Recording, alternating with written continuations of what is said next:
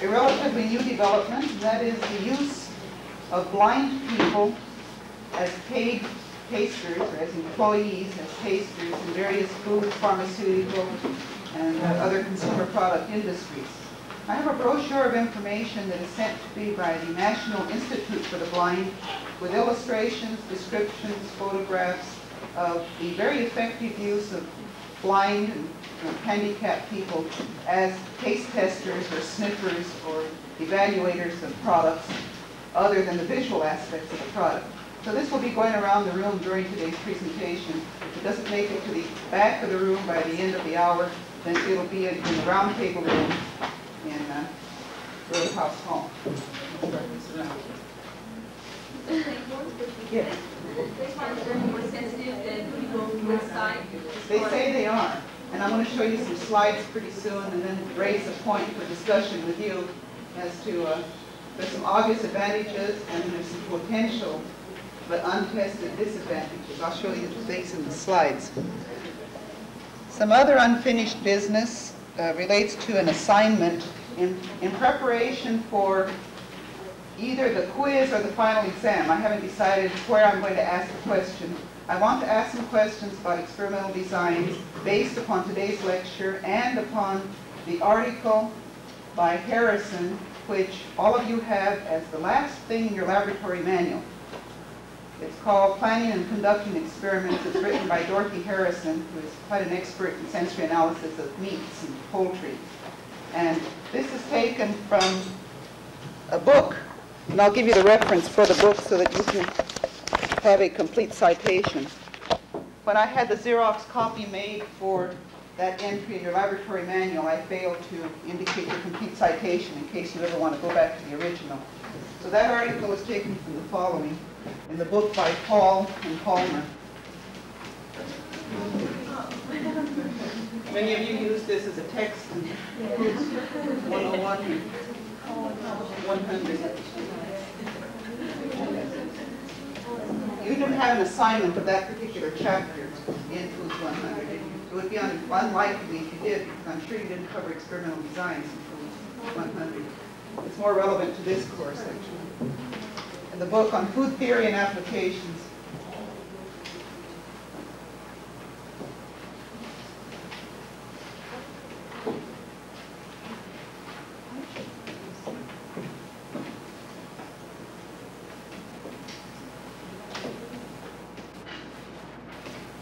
just so your citation will be complete. The people who are taking the course as a 198, I have a copy for each of you. And I believe three girls and Dave, I've given you a copy. I have one here for Phil if he comes in today.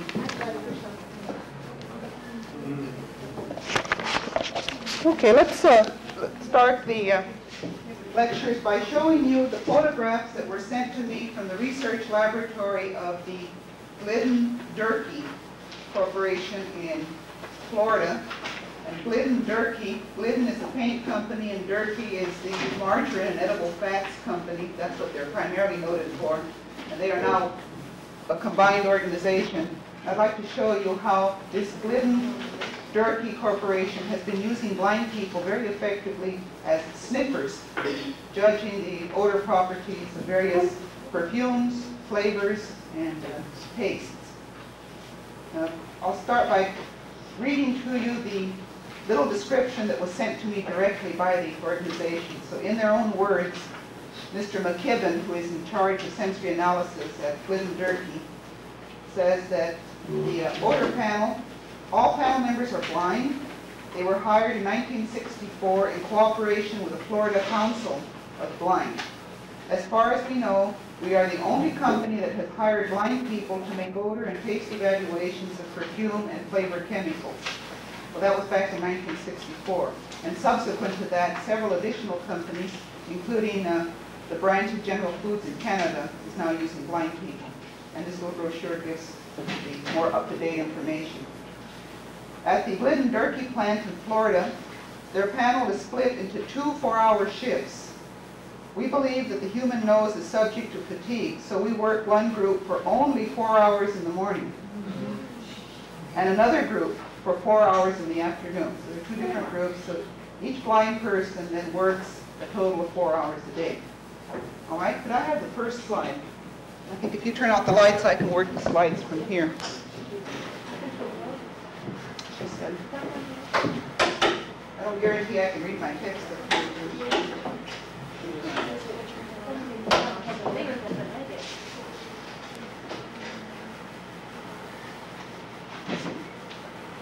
I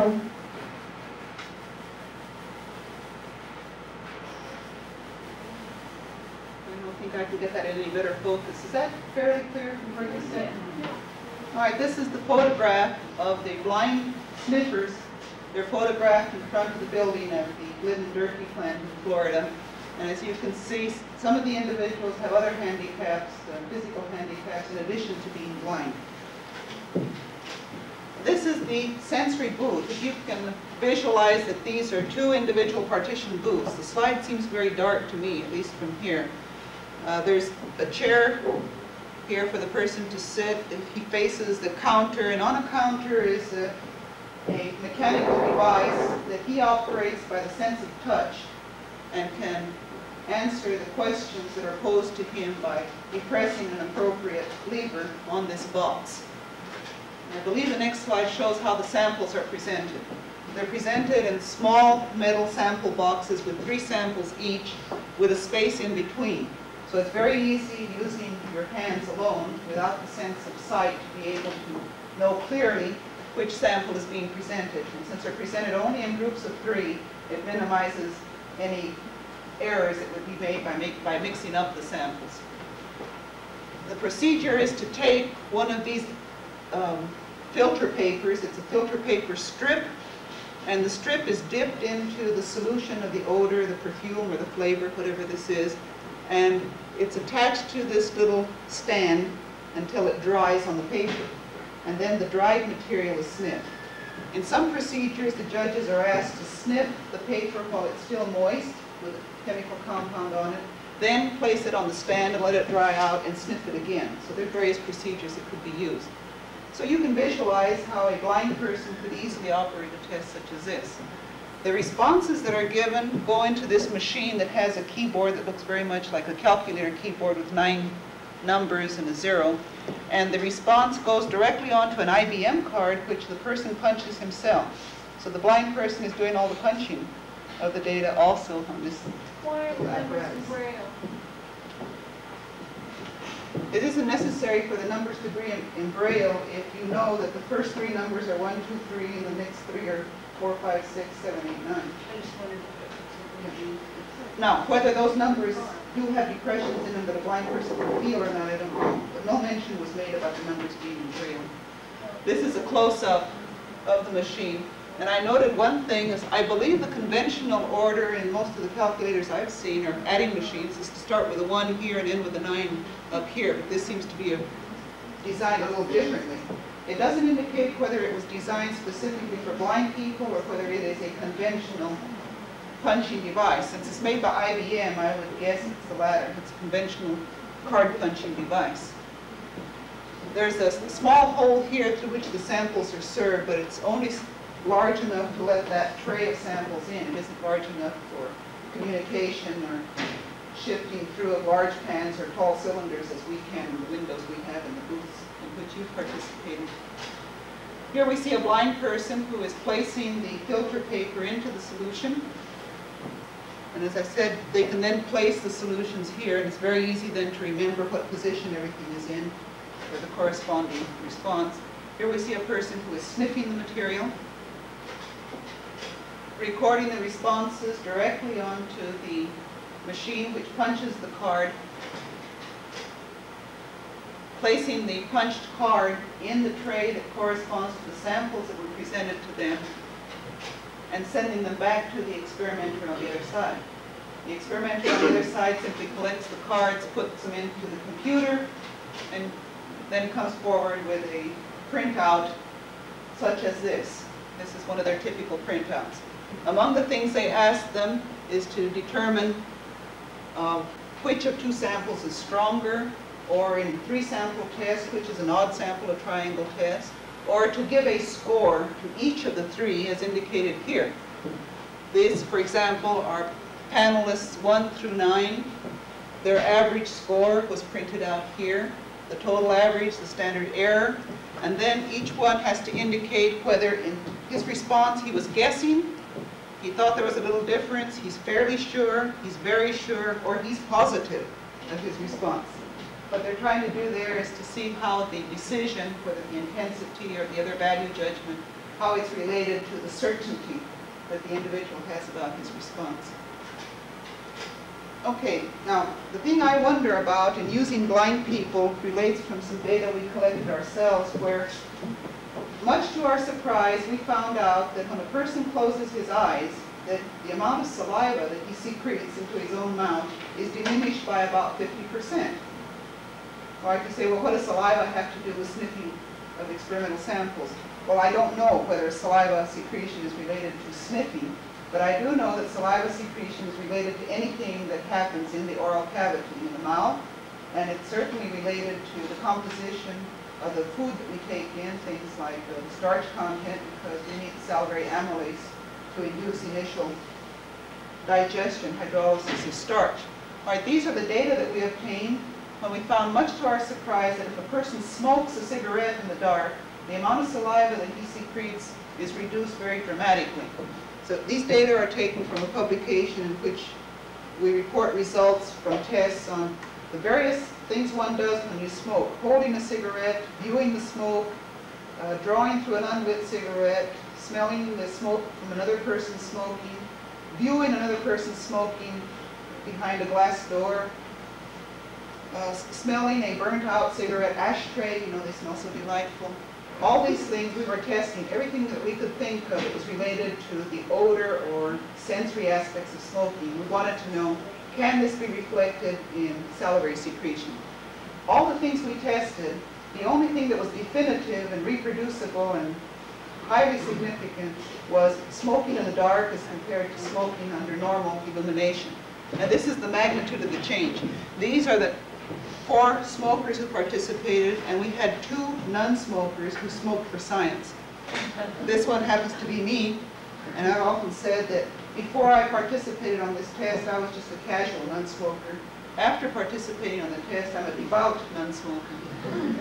It was very offensive to me, and also to the other individual. This is the other collaborator. It's very difficult to ask a non-smoker to participate and it always goes through my mind that would we be responsible if they become addicted to cigarettes as a result of having participated in our studies? Would we be a participant in their, their uh, beginning to smoke?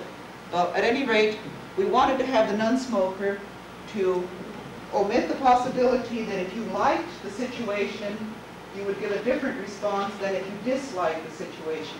The smokers thought this was great, you know, just sit there, have a small salivary collection cap in mouth, and sit there and smoke and relax. They thought it was great. And we thought it was very offensive. But that was irrelevant because the conclusion is the same. When normal vision was operating, this corresponds to how much more was secreted as compared to a baseline resting level where there was no stimulation at all. So this is baseline, that we converted to 100. And this is how much more saliva was secreted from one gland in the mouth, there's six major glands, but this is from one gland of the mouth, when they smoked under normal illumination. Then we took some more resting levels. Then we put black goggles on the person so that he had no light and no vision. And we find that the reduction is very dramatic in all individuals, including the two non-smokers. So for some reason, when they couldn't see the cigarette, they salivated less. The speculation was that viewing the cigarette itself was stimulating. And smokers tell me that they find it rather uh, not unpleasant, but not too satisfactory to smoke in the dark, like in a movie theater or the, on a very dark night. They say they don't derive as much pleasure from smoking. That part of the pleasure of smoking is seeing smoke. and even though I'm an unsmoker, I can appreciate that because uh, I appreciate a roaring fireplace it's pleasant to view, even though I'm not a pyromaniac that I know of. Most of us appreciate or are fascinated by fire and flames, like in a fireplace. Okay, so if, if it is a cigarette, we have to establish, is it the cigarette or is it a more general phenomenon? Also, we wanted to know was the fact that you wore goggles, the fact that something was up against the face, was this a factor? So we repeated the experiment, we reversed the order of presentation to be sure it wasn't just a time order effect, and we did something else. We had the people wear transparent goggles for the regular illumination, and then black goggles when there was no vision. And we have the same conclusion now. This is with black goggles, transparent, black transparent, black transparent, etc. And these differences are highly significant. So once again, smoking in the dark reduced secretion. The other thing we did was to collect the resting level in the dark, and that's what these cross-hatched bars are. So this is resting level with transparent goggles. This is resting level in the dark. Transparent, dark, transparent, dark, transparent, dark. So what does this tell you? It's not the cigarette, is it? It's a more general phenomenon. It's probably a central phenomenon, physiological phenomenon in the central nervous system. Okay, um, one other thing we did. This is the last one. If that happens for cigarette smoking, it may be unique just for smoking. Now let's get into something that's more related to foods. What about actual tastes? So we tested solutions, and you know by now that those solutions are very sweet, very salty, and very sour, respectively. We took a resting level under white light, under dim, diffuse illumination, about the illumination you have in the room here. Not enough so that you can read, but just enough so that you can see objects. With the eyes closed and white illumination. This, uh, no stimulation at all. And the lowest one was with the eyes closed. But the differences here are so small, you can hardly come to conclusions. Then our control was a tasting of distilled water with white illumination. There we go. All right, now, response to sugar, salt, and acid under white illumination, regular daylight illumination, under dim, diffuse light, such as the light in which you're sitting now, with the eyes closed, with yellow lights, with red lights, like the ones you have in the taste booths, and with blue lights. And we finished up with white again. Now, red, yellow, blue, dim, and white. There are no significant differences in the heights of the bars here, but there is a significant reduction in the response when the eyes are closed. Okay, I don't know why this happens, but I raised the point to show you these data to indicate that it could be that the blind people are not quite the same as people with normal vision, at least as far as phenomena such as these are concerned. Okay, thank you. But if they've been blind their whole lives, it would, Robin raises a good point, and there's no way that we could check it out experimentally. If a person has been blind since birth, then perhaps the condition of, of not being able to see is not unique, either physiologically or behaviorally, and wouldn't induce a change such as that that we measure. But there's no way we can take an individual and compare differences unless we took large populations. 1,500 people who were blind from birth versus 1,500 people who were blind after age 21. And if you get significance, then you can assume it's related to the time at which they became blind. on those uh, salivating tests I part with the wine, um, and the goggles, so did, were we salivating less with the goggles? Robin is referring to a test where she was one of the victims, uh, experimental subjects, where uh, they wore different types of goggles. Like one eye was closed off, the goggle was frosted, or there were just pinpoint holes, or various conditions of goggle uh, distortion of vision. And uh, we tested wine. The reason was that the research was being sponsored by the Wine Advisory Board, so that was our stimulus. And we found, once again, that if, when the person is wearing the black goggles, the response to the stimulation by wine is significantly less than under all the other conditions. So I don't know why this occurs. My speculation is that it's related to attention. Those of us that have participated observe that when we close our eyes and sit there for a four, five, or six minute period, that several things happen. Subjects have reported at least one of the following to me. A, they get sleepy. B, they get cold. C, they lose track of time. They don't know if they've been there one minute or one hour. Uh, a few of them say that they're not certain whether they're sitting at an angle this way or at an angle that way, that they lose their, their uh, not equilibrium, but their concept relation to their environment because they can't see. Now, all of these conditions that are mentioned, one individual said that he had a slight case of vertigo. He just felt a little bit nauseated after the experiment. All of these conditions are related to alertness. They're related to falling asleep. And we know that of the one liter of saliva that we secrete in a 24-hour period, only, I believe it's only 180 milliliters are secreted during the eight hours that the average individual sleeps. So if you have thousand milliliters secreted in 24 hours, only a, only 18, excuse me, only 18 of that 1,000 milliliters are secreted during the time we're asleep. Maybe that's a good thing too, because uh, you know we could choke if we had to continually swallow during sleeping, perhaps, or if nothing else, we'd wake up with a very wet pillowcase. It doesn't sound too comfortable. Adrian? This, the factor of alertness wouldn't really apply to blind people because they've always got their eyes closed, so to speak. I mean, Yeah, that's, that's a good point. If you're blind and if you've been blind for many, many years, this doesn't mean that you're sitting there half asleep all your life.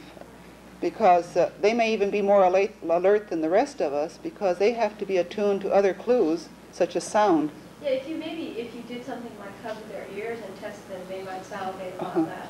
But I think as far as the application and sensory analysis, and for our information here, that uh, if I were in charge of a laboratory that used blind people, I would feel better if I had a group of sighted people, a large enough group of sighted people, that I ran side by side, at least initially, to satisfy myself that there weren't any striking differences, and then proceed to use the blind people who would be more readily available, and then, of course, you in turn would be contributing to their employment, to their usefulness, to their morale, and, you know, it'd be a very uh, humanitarian thing for you to do as well as you deriving a great deal of benefit for your company and yourself.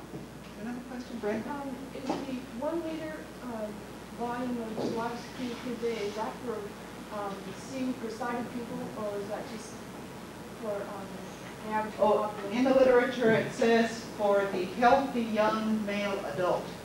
So It doesn't say whether he's blind or not. I assume he, since he's normal, he's not blind. I was just wondering, um, The average is a liter a day. if, um, blind people secrete the same total amount. I don't know. And uh, to my knowledge, it's never been tested. But what you would have to do, I would never take 20 blind people and 20 sighted people, make a measurement, and assume that the difference was due to their being blind. I would want several hundred of each before I would assume that it was the blindness that caused the difference. You want these off? Thank you. Was there another question? Galen? Nancy?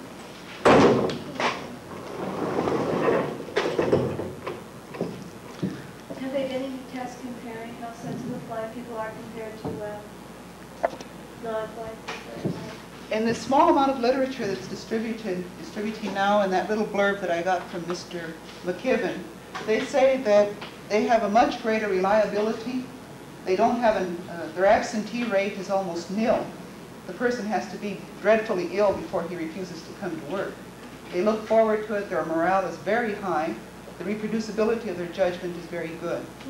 But they haven't said whether they ran a side-by-side comparison with sighted people and whether their JNDs or thresholds, et cetera, were equal to or less than. That information they didn't share with you. It's very difficult to get industry to share any information with you. Uh, I'm happy to even have obtained a copy of these slides that they were willing to share with me. They didn't identify at all what it was that they were testing, except that they were either perfume or flavor compounds in solution. Any other comments on using blind people? I think one could extrapolate to the use of any group of people, and that would be if you're simply interested in knowing how a, a group of human subjects react to some stimuli, you don't have to be as careful about who these people are or what some of their physical or psychological behavioral traits are. But if you plan to extrapolate to the consuming public, then you better be very certain that your group is representative of the public who is going to purchase your product. I mean, the obvious thing here, which I'm sure would never be done, is that the product passes the odor, texture, taste, tactile, etc., quality evaluations of the blind people, and the color is so grim that nobody buys it. I mean, this would be uh, something that they obviously wouldn't do, I hope, but it would be an exaggeration of the sort of error that could be made if they didn't take the precaution of seeing that the public for whom it was intended was represented on the small panel that was uh, being measured. All right, I'd like to go on to the descriptive, I'm sorry, the um, designing of laboratory experiments. Much of what I have to say is already listed on your outline, which I would simply like to supplement. We talk about experimental designs, what do we mean?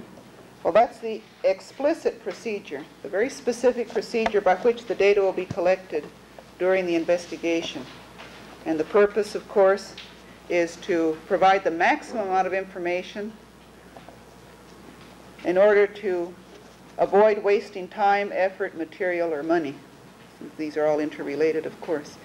It involves the assignment of treatments to the experimental units and a thorough understanding of the analyses that you're going to do after the data becomes available.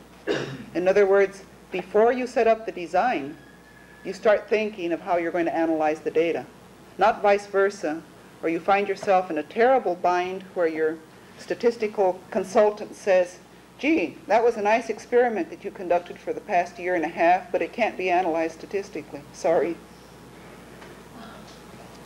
I don't think that um, your boss would give you a second chance if you ended up with something like this. So the design is thought through, clear through and including the total analysis, and even thought is given to what if the data come out in this direction, what does it mean, and what if the data come out in the other direction, what does it mean? Often in sensory data we say what if the results are positive, what if the results are negative, or what if the results show that there's no effect at all. What is it going to tell us? What does it mean? How do we design our test to be sure that we can distinguish among those three alternatives in a sensitive and reliable manner? The best advice in selecting a design is select the design which is the simplest one, which can be analyzed statistically by a straightforward, simple analysis. It's just common sense, isn't it? Select the design which can be analyzed in the most straightforward, simple manner. When we apply the statistical methods to the design of an experiment, we have to remember several things. The first one, of course, is that uh, the analysis of the data calls for very clear thinking. A person who is uncertain of why he's conducting the test is uncertain about the homogeneity of his samples or the history of his samples, is uncertain about the reliability of his judges, and only has a vague idea of how to design a scorecard, he certainly is not thinking very clearly, and his data are also going to be pretty muddled. The other thing to avoid is just the routine application of statistical procedures. There are individuals that think of statistical designs in terms of a conditioned response. If you show them the data in two columns of numbers, they automatically say, oh yes, if you have two columns of numbers, you automatically apply student's t-test. They don't even look at what the columns are, what they say, how the data were collected, or what results they hope to obtain. They see two columns and it cranks in and it, and it spills out like a robot. Two columns, student's t-test. More than two columns, analysis of variance.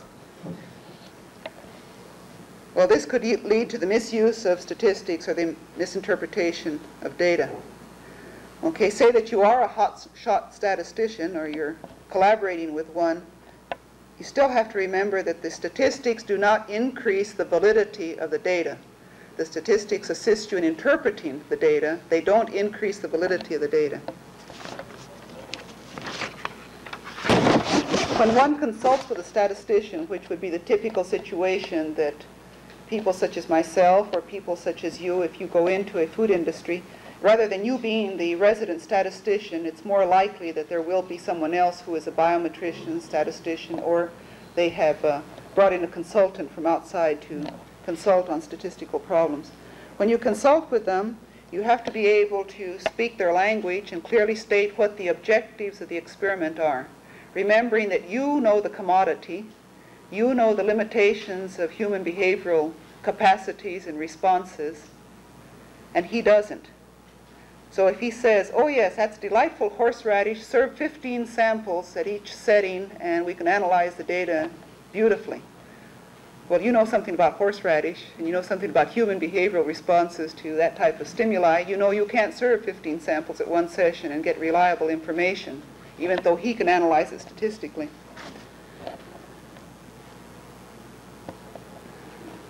We have to consider the physical limitations also. If he says, uh, well, if you have 173 people, you can get enough replications to analyze this in a complete block. And you work for a company with 20 people, where are you going to get the other 153? These are obvious things. Also, if he says that uh, it's going to take 752 sessions to collect the information, and your boss wants the information next Friday, I think you're going to have to make some compromises. So these are sort of exaggerated situations that would illustrate how you have to know a great deal about the project, the commodity, and the judges in order to communicate with a statistician.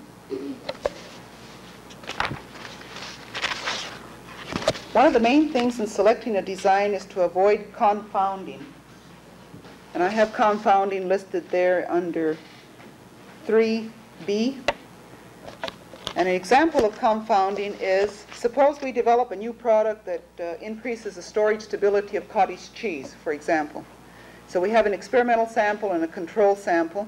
And to show you the exaggeration, to illustrate it, say we used a train panel in Cruess Hall to evaluate the control and a train panel in Roadhouse Hall to evaluate the treated sample. This would be pretty ridiculous, wouldn't it? But if you did that for some reason, you have one group of judges doing the control, another group of judges doing the treatment. Uh, another one that's almost equally gross is if you had the uh, experimental sample evaluated in the morning and the treated sample evaluated in the afternoon by the same people. Then you have time of day and treatments confounded. The most uh, obvious type of confounding that I've observed in the printed literature is the substitution of one judge for another. In that case, then, the treatments are confounded with the judge. If, for example, you have 10 Sherberts, as you did yesterday, and Gail evaluated the first sample and Boyd the second and Barbara the third and so forth, and then I reported the data in terms of the average score, we would have the samples confounded with the judges. That is the most common mistake that is made.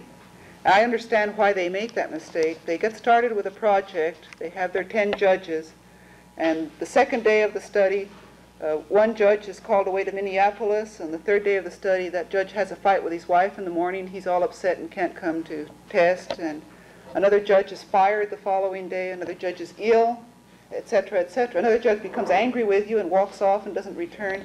These things can happen. Then you're faced with a decision. Do you substitute a judge? Do you eliminate that data? Do you start all over again? What do you do? And the line of least resistance, of course, is ignore judges, let's just report the averages. But in that case, then, your data, the treatments are going to be confounded with judges.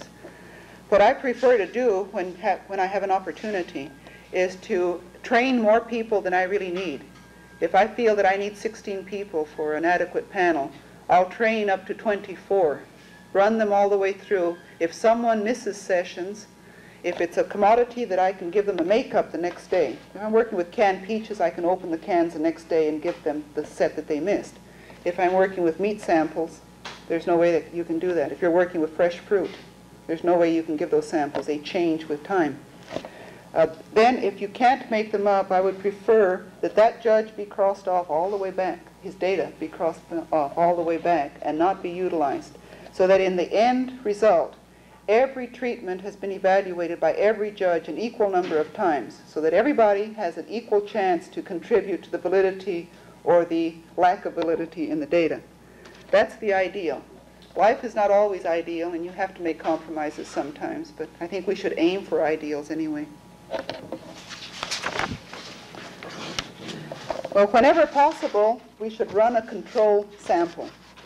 If you're attempting to improve, improve a commodity, obviously you would run the control to see whether you've accomplished that purpose. If you're developing a new product, run a control sample that is as similar to the new product you're developing as possible so that at least you have a benchmark, an anchor point.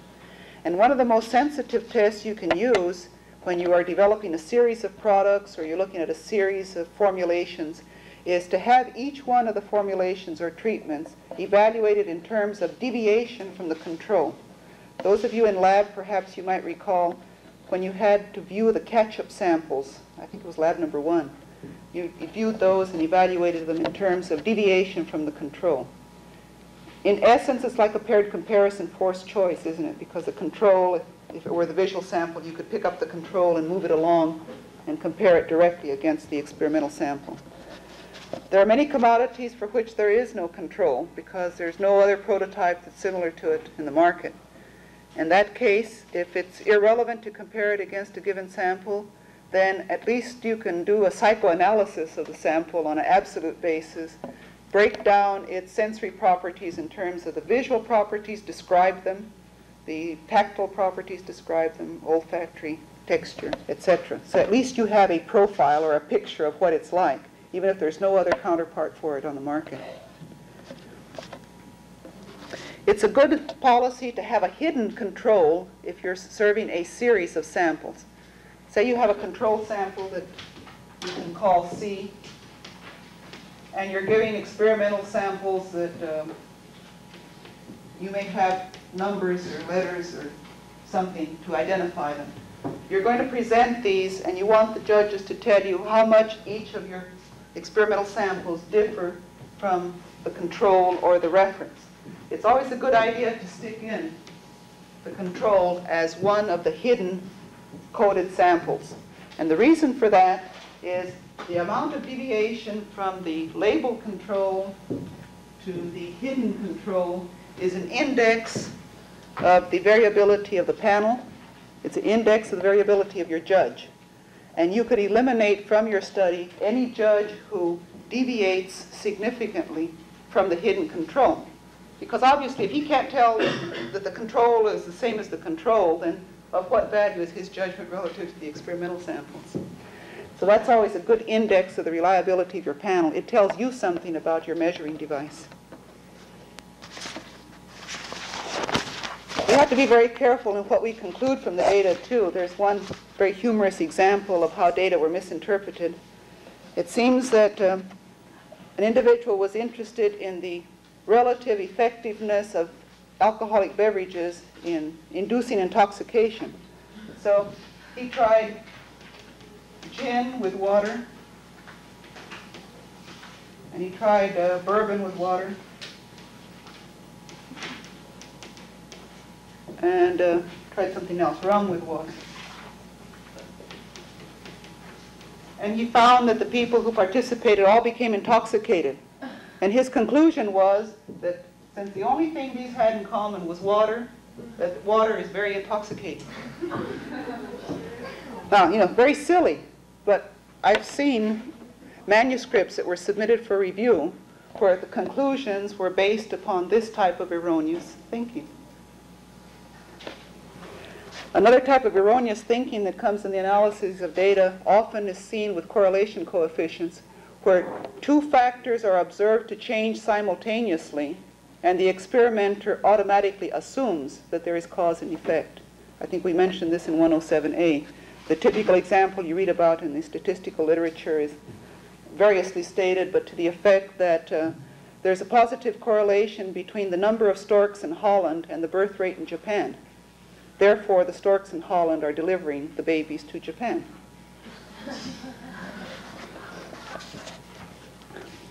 We want to allow sufficient time and sufficient sample for adequate replication. Those of you that participate in the lab experience perhaps can see the value of replication. Uh, there's a tendency when you first test a product that the novelty of the situation sort of puts you a little bit off balance. You don't have a reference point, not, you don't know what to expect. The second set or the second sample, you feel a little more confident, and by the third or fourth set or the third or fourth sample, you have a better idea of what you're doing. And this is what we mean by replication. We want replication to decrease our experimental error and to decrease that effect due to learning. We anticipate a judge to learn something by participating, but we want him to stabilize his response so that the differences we obtain are due to his perception, not to his learning. Okay, how many replications do you need? Now, that's a rough question. I'll give you an answer that you'll laugh at. The, the true answer is enough so that additional replications will not change your conclusions. Enough so that additional replications will not change your conclusions. All right? That's sort of facetious because you know this after the fact. You don't know it in advance. But there are some guidelines. Let me put it this way. You will need more replications under the following conditions. If there's a considerable variability in your sample, you're going to need more replications. If you're working with milk or wine or orange juice that is very homogeneous, you're going to require fewer replications than if you're working with uh, fresh asparagus or fried chicken or beefsteak or something that is very heterogeneous. You'll need more replication if there is considerable variability among your judges. If you use untrained judges, you're going to need more replication than if you use trained because there's much more variability among untrained people than trained people. Sometimes your judges show a lot of variability due to other factors such as poor attention or lack of motivation. And the lack of motivation might be our fault as leaders of the panel or as uh, head of the laboratory. It could be that we have not made certain that we have good rapport and good diplomatic relations with the people who are constituting our panel. And because they do it reluctantly or with disinterest, they're going to give you more variability and you're going to need more replication. So it pays to not only train your judges, but to maintain a very good rapport with them. The best way to, re- to establish the initial rapport is to demonstrate by word, by action, and by example that this is a professional operation, that you are a professional individual, that you know what you're doing, you know what you're talking about, you have confidence in yourself, in your ability, you're a scientist, you're not just playing around in the laboratory, and you obtain their respect as a professional. Then the rest comes quite easily. It helps to have a cheerful personality. And when worse comes to worse, it helps to send the best looking technician out to get the judges to come in. Not meant to be a chauvinist here, but there are some individuals that uh, will not come to judge at the designated time until you do go get them, which has indicated to us over the years that these people require a little additional attention. It's not that they're disinterested, it's not that they forget, that they derive pleasure from being personally invited every day. And we recognize this and we oblige them because we do need their, their support and their cooperation. So we trudge up and down the steps and invite them, uh, please, this is time for tasting. Rewarding them after tasting is a highly motivating factor, and I'm sure Dr. Amerine has mentioned these in previous lectures. Another condition where you would need more replication is if the task is very complex. The more complex the questions are, the more difficult the samples are to evaluate, the longer the session is, all these factors would increase your variability, and so you would have to have more replication to get more validity. Or if the test material is very fatiguing, you can see for yourself in those samples that you tested that fatigued you, for, for whatever reason they fatigued you, it's likely that you had more variability. Okay, let's give some general guidelines so that we don't leave you in limbo about how many replications. Just general guidelines. How many would you need? If you have a highly trained panel, individuals who have several months, if not several years of experience with the commodity and with the test method, and they are evaluating the samples in considerable detail, for example, as you do in the texture profile or the flavor profile, then one could say use four to six judges, have three to five complete sessions per variable, per treatment, and this will give you an end of somewhere between 12 and 30. Now, under the conditions I said, it's, it's respectable and acceptable if you're working towards an end of 12 to 30. Four to six judges, three to five sessions. All right, if you have just a moderately experienced panel, these could be people who have experience with another commodity, but not necessarily with the commodity with which you are working, or they just have a casual introduction to the commodity or the design. Then I'd recommend having 12 to 20 judges. Again, three to five complete sessions, and that will give you an N of between 36 and 100. If you have a group of untrained people, the first time they have ever set foot in your laboratory, then we would want to have uh, anywhere from 50 to 100, depending upon how many are available to you. And you would like them at least two sessions if possible. Hopefully more than one so that they can get over the novelty of the situation. And then, of course, this gives you the equivalent of, of 100 to 200 judgments. Industry frequently does this, and they refer to this as a pre-consumer panel or a consumer-like panel or a pilot consumer panel. In other words, they don't want these people that have all these years of experience and built-in biases. They want to take someone with no prejudices, no biases, just come in and say what you think. And they'll pick up 50 or 100 people who work in their organization, if there are that many, or the wives of the people that are working in the organization, wives or mothers or sisters-in-law, whatever. Or they might go out to a uh, supermarket or a public place and obtain data. Now, is that three to five sessions, is that ones that you're going to count your data that isn't the first, second, or like you throw out the first Yeah. one? That's a good point, thank you for reminding me. Leslie asked is, does this include the first day? I would say no. I would call session, the session number one as orientation.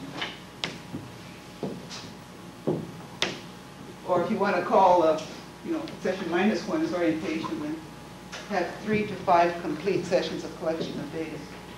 Now, it could be that your product is such that once they've tasted it, they won't come back again. Then you may not be able to do this, or you may have the information you want from the first session. You know, it's lousy, forget it. Might be the conclusion from one session there. When these data are reported, the averages should always indicate how many judges and how many replications, because obviously it makes a difference whether you had 10 people paste once or one person paste 10 times. Your N is still 10, but it makes a big difference in what the data means. So one usually indicates, for example, on a graph or on a table, you'd say N equals 60, and then you would have uh, 10, often they abbreviate subjects like this, 10 subjects, um, six replications. Often it's listed like that. Okay, say that uh, you're, in, you're working for a spice company or an ingredient company, and you're in charge of the sensory analysis of black pepper and ginger and horseradish and mustard and many of these highly, highly flavored, pungent, strong commodities and that they're developing large numbers of these in the plant. They develop uh, 12 different varieties of the horseradish, uh, 45 different types of uh, black pepper combination with other spices and so forth. How do you evaluate them? There's no way that you can place them in a complete block design so that when a judge comes into the booth, you give him all 40 samples and ask for an evaluation. It obviously has to be broken down into groups. How do we break them down into groups? Well, one way is to use a design, a randomized, incomplete block design. And there's an example of an incomplete block design situation on pages two and three of the handout. Would you take a look at page two? Page two is derived from the book on experimental designs. It shows you the different types of balanced incomplete block designs. Now, to be sure that, that you know what these words mean, they aren't just terms. Incomplete, of course, means that not all the treatments appear at the same time. Not all the horseradishes are served at one session. Balanced means that every sample is evaluated against each other an equal number of times. Your design is totally balanced. So that each treatment is compared against each other an equal number of times. Okay, this is the index to the types of incomplete block designs that are available. If you think about permutations of numbers, you know that there aren't an infinite number of ways that you can put things together and still come out even. Here are the numbers of, of designs that are available on an incomplete basis where you do have balance. Okay, the column that says T, that's number of treatments, or the number of samples. That would be equivalent to the 10 sherberts that you had yesterday in class. Say you had 10 sherberts.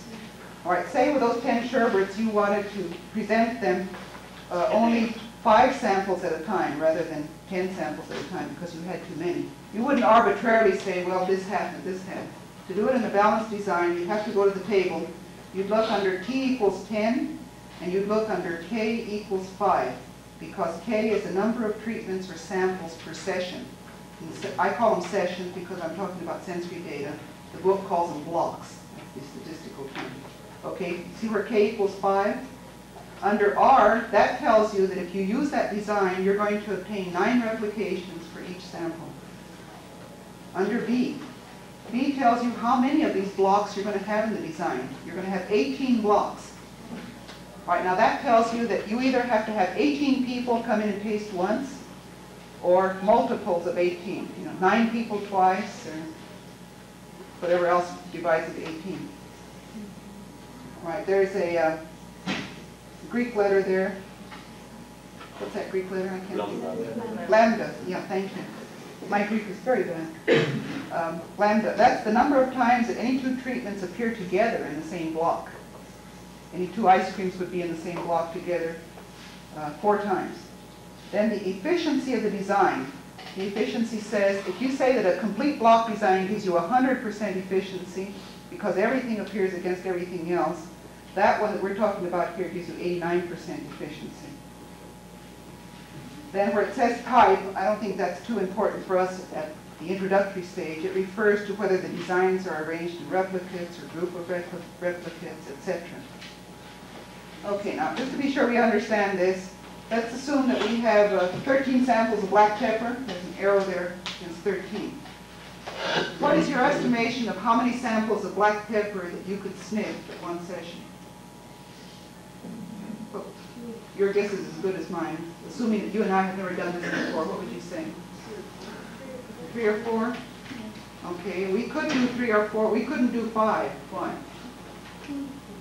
There's no permutation of numbers that will give you a, balanced and complete block if you serve five. So you have to serve either three, or four, or nine. Those are your only alternatives. Nine is too many. So I presume either three or four. Uh, I would try four first, and if it works, okay, because it's going to be more efficient than if you try three. All right, say you try four, you'll have four numbers of treatments per block. You will get four replications per sample. You will have 13 blocks. Okay, how many judges are you going to need? And there's no other number. You can't divide it up any other way. You're going to need 13 judges. It tells you this automatically. Okay? And each sample appears against each other sample six times. And the efficiency of that? One time, sorry. The efficiency of that design is 72% as compared to a complete block that's 100%. Your bifocals are better than mine. Thank you. 81%. I did it on purpose to see if you were listening. Does, does that seem clear, what we're doing? Okay. Leslie. Let's say trained 16 judges and 14 showed up all the time, which one can roll my? Oh, my graduate student Louise Tano is having that precise problem. She's working with beer. She has to have 16 because of the, of the experimental design. She's running about 20 people, and she's trying to anticipate who is more likely to drop out than somebody else, because each person has his specific set, his specific experimental design. You can't just run four extra and then plug them in, because you have to plug them in into the blocks that correspond to the sets that he's supposed to receive. It's very, very difficult. If a person misses one session, it's not so bad, because if you have a series of numbers and you have a blank, the way you can take care of this blank is to average all of these and put the average in here. You can generate a number by putting the average, say it was 3.2. You put the average in there, and you have a complete block then for your analysis of variance. You don't have any holes for your analysis of variance. And you haven't changed the average or the conclusion that you draw about the judgment of the experimental sample by putting the average in for the one bit of missing data. But I would be very reluctant to substitute, to do this more than once, to put in the average more than once. So it is a big, big problem when you're working with an incomplete block design. The best thing is to work with complete block designs if you possibly can. They- Question, why does this limit the number, the particular number of judges in the panel? You have to have thirteen, each judge has to do thirteen replications. No, you have to work in multiples of 13. You could have one person come in 13 times. Yeah. Or you could have 10 people come in 13 times. It has to be a multiple of 13. Or if you're going to do it once, then you need 13 people to come in once. Oh. As long as it, you- Assuming the judges. it's based on the multiple of 13, mm-hmm. Oh, okay. to make the blocks all come out even. Mm-hmm. All right, take that block of f of t equals 13, and it's described on the third page of your handout. And this is, this is what the designs look like when you look them up in the book. This is that plan 11.21, where t equals 13. You have 13 treatments. Each treatment appears three times. There are uh, six replications, there's 26 blocks. Each treatment appears against each other once, 72% efficiency. Okay, those are your 26 blocks, and it tells you specifically how the samples are being treated. The individual who receives block one receives samples one, three, and nine only. Now, you can randomize one, three, and nine in the order of presentation if you wish. So this design then would mean that you have 26 people come in once, or whatever the corresponding multiple is, 13 people twice, or whatever the, the multiples would be. And those are the samples you have to serve them. This means then that once a block has served, has been served, that it never appears again within, within this design. And when you have completed this block, then you have an N of six, they call it R, replication. So your averages would be based upon an N of six, which isn't very large, is it? But it's an awful lot of work to serve all these samples and only come out with an N of six. That's why I say whenever possible, use the, the complete blocks rather than the incomplete blocks. The incomplete blocks are a lot of trouble. They're very, very difficult. Then they require a different statistical analysis, and that's why I want you to read the article by Harrison in the book by Paul and Palmer, because it shows you an example of how you partition out the sources of variation in your analysis of variance to analyze for blocks or columns or rows in the experimental design. And there, sometimes you cannot pull out certain data because you have, for example, you have judges confounded with blocks in this type of design. But there are two examples of analyses of variance that are much easier for you to read at your convenience than for us to discuss in the class relative to how you have to modify your analysis of variance of the data collected in a incomplete block design. Kathy? If you, okay, if you have these twenty-six judges, you mean like each judge is only gonna do that one instead of three, and then it's gonna be done? If you feel that you can live with six replications for treatment, then you can have 26 people come in once and do this whole block. And judge number one will get block one, which are samples one, three, and nine. If you feel you can live with that situation, that- gives you enough reliability for the intended purpose of your experiment. How do you, So what's the n equals six? Like, there's Uh. At the top, it says R equals six. That means that you'll have, if you do all 26 blocks, every treatment will have been tested six times. So that when you average your data, you say the average is equal to something, it's based on an N of six. Or they call it an R, replication. If any of you have uh, difficulty understanding what is meant by this, be sure to, to check with Kathy or check with me before the quiz. We're going to have some questions relative to the use of an incomplete block design. It's either the quiz or the final, we haven't decided yet, but if you're not certain, be sure to check with us. It's pretty important. Then what that's saying is that each one of the judges is going to test every time. No, unless each judge receives all 26 blocks, the judge is not going to have a complete set of all possibilities. Now, if you have everyone come in 26 times, and you keep track of what everyone tests on each session and each day, at the end of 26 days, you will have a complete block for each person.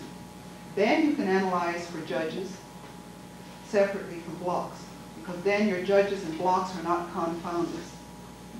You still look puzzled? I'm confounded. No, you might be confused, but you're not confounded. I'll be glad to go over this during, uh, anytime you want to come and see me, or, or at a special session, or during a review session, if you like, after you've had a chance to think about it and take a look at these designs. It takes a little while for it to soak in. But the, the type of question that we would give you is not going to be an unreasonable one.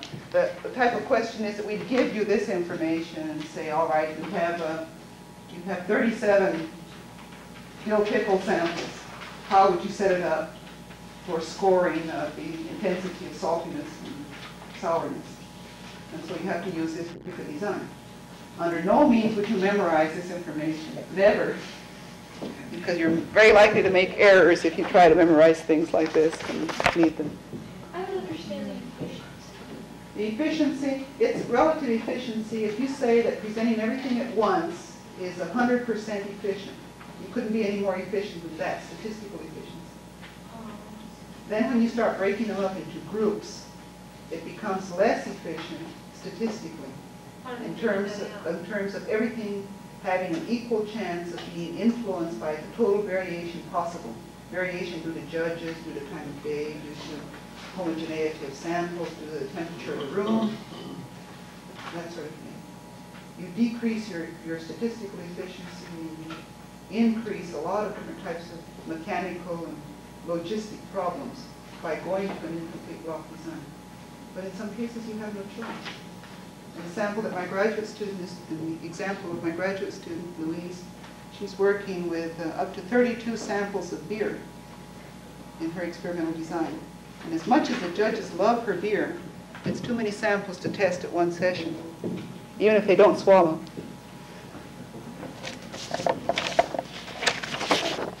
So that is a very cursory introduction to experimental designs, but the topic does go beyond the confines of this course, so we simply want to introduce it for your thought anyway.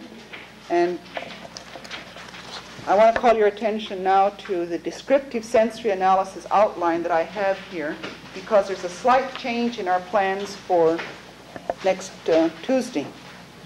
Normally, I would give the lecture on descriptive sensory analysis on Tuesday, and then in Wednesday, you go into the laboratory, those of you in the lab, and you participate in a descriptive sensory test. But uh, a few weeks ago, I had a telephone call from Dr. Herbert Stone, who is head of sensory analysis at Stanford Research Institute in Menlo Park.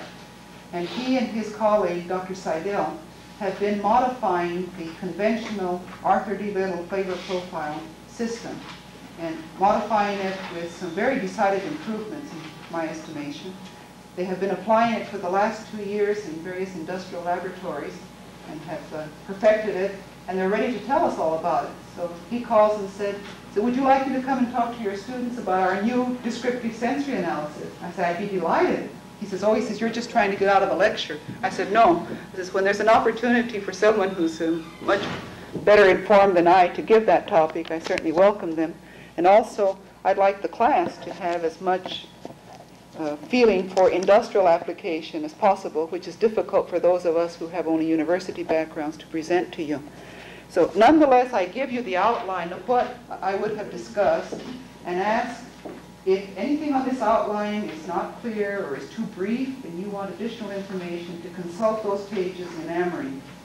I'd like you to read this before you come to Dr. Stone's presentation. What I've described here is the conventional flavor profile descriptive analysis of the Arthur D. Little Company.